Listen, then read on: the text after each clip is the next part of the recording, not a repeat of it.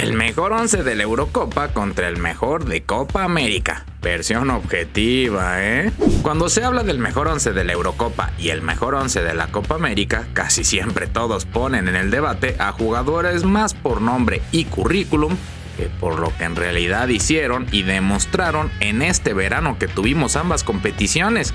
Así que nosotros no vamos a hacer esto en este video, porque vamos a elegir a los mejores 11 de cada competición de manera objetiva y sin tomar en cuenta el resto de la temporada, ni su trayectoria, ni su palmarés, ni nada de eso. ¿Estamos? Me parece perfecto, Paco. Por fin un 11 real de los mejores jugadores que vimos en los dos torneos continentales a nivel de selecciones más espectaculares del mundo. Así que déjenme empezar con mi 11 de la Copa América porque lo tengo clarísimo. Chequen sus binautas. En la portería vamos a colocar sin ninguna clase de discusión al gran Dibu Martínez por su segunda Copa América consecutiva, el mejor portero del torneo. La defensa estaría conformada por línea de 4. En la lateral derecha no hay espacio para alguien más que no sea Gonzalo Montiel. Se volvió a mandar un torneazo con el albiceleste. En la lateral izquierda, por supuesto que el puesto es para Alfonso Davis, que llevó a su Canadá hasta las semifinales, siendo una de las grandes figuras y sorpresas del torneo. La defensa central estaría conformada por Davison Sánchez de Colombia y el Cuti Romero de Argentina.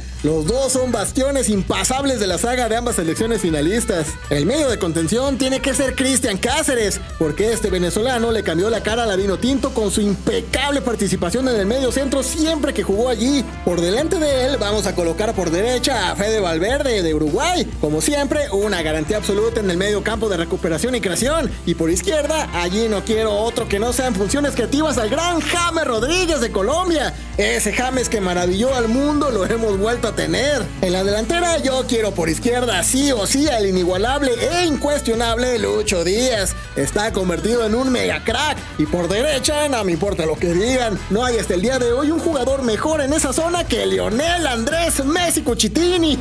Otra vez cumplió con las expectativas, aunque ladren los perros. Y como delantero centro, no tengo dudas que el mejor de la Copa fue Julián Álvarez. La araña volvió a demostrar por qué es uno de los mejores nueve del planeta. Y que se cuide Haaland porque con el nivel que mostró le va a comer el puesto en el City. Como ves Paco, ¿a poco no es objetivamente el mejor once de la Copa América? Salvo por un jugador que pusiste, que ya sabíamos que le ibas a poner porque eres Messi Liver, pero que no queremos decir de quién se trata para no generar polémicas. De ahí en fuera, pues, eh, lo vio bien. Pero si lo comparamos con el mejor 11 de la Eurocopa, ah, no tiene nada que hacer, Ubaldo. Escucha esto, en la portería evidentemente vamos con Diogo Costa. Eso de atajar tres penales y mantener al bicho con vida lo más que pudo, le garantiza su puesto en el 11. Además que demostró por qué es el portero más caro del mundo hoy en día. Como lateral derecho, sin ninguna duda, Dani Carvajal aparece en esa posición, padreando al resto con diferencia. En la lateral izquierda yo me quedo con Cucurella. Lo siento si meto a muchos españoles, pero ¿qué podemos hacer? Ustedes vieron cómo jugaron. En la defensa central la tengo clarísima. Firchil van Dijk acompañado de Nacho Fernández. Los dos le dieron a sus selecciones el liderazgo que tanto necesitaban para tener un buen torneo. Pero aclaro que Stones y Saliba estuvieron muy cerquita de entrar también a competirles.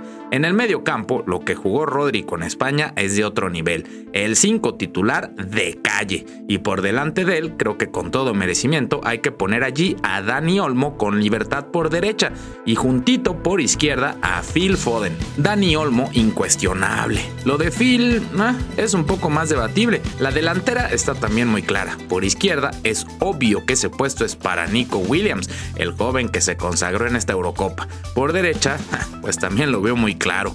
¿Qué quieren que les diga? La Minja mal, por la misma razón que Phil Foden. Está aquí apareciendo cuando las papas quemaban. Y como centro delantero, hay que decir que no fue precisamente un torneo muy bueno para los nueve, porque ni Cristiano Ronaldo, ni Mbappé, ni Morata, ni Havertz tuvieron el torneo que se esperaba de ellos. Así que lo lógico sería poner en punta a Harry Kane, porque fue el que mejorcito lo hizo. Pero sería muy injusto poner a Kane antes que a Bukayo Saka.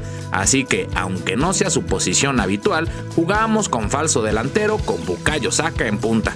Ni modo, este llamaco fue mucho más importante en toda la Euro para Inglaterra que Kane. ¿Qué Bobaldo? ¿Ya viste que mi equipo de la Eurocopa es mucho mejor que el tuyo de la Copa América? Ah, como siempre exageras. De hecho, estoy segurísimo que los subinautas van a estar más de acuerdo conmigo en que el 11 de la Copa América fácilmente le podría ganar el de la Euro. ¿A poco no, amigos? Pues que nos dejen sus comentarios y que nos digan cuál de estos dos 11 les parece mejor y si es que pondrían o quitarían a alguno que otro jugador. No olviden suscribirse a Ovaldo Show, comentar el video, compartirlo y dejar su comentario. Nos vemos en el próximo 11 contra 11. Yo soy Paco Meraz. Y yo soy Ubaldo. Bye. Bueno, por lo menos yo sí entré en mi 11, ¿viste?